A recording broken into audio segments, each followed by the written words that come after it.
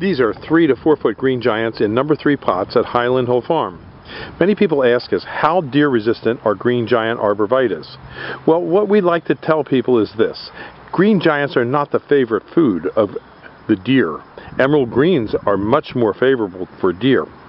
You can tell if green giants are going to work in your yard by how many you see on an average day. If you see one or two deer a week, you're okay. If you see one or two deer a day, you may have a problem.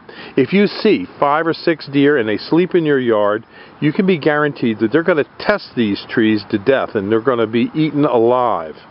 Also, if you have a lot of bucks in the fall, if you start with a three to four foot tree, they will suffer from buck rubs.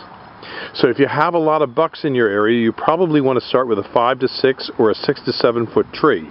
These are three to four foot. They're very easy to deliver, plant, and mulch, and we can do that for you in eastern U.S. locations.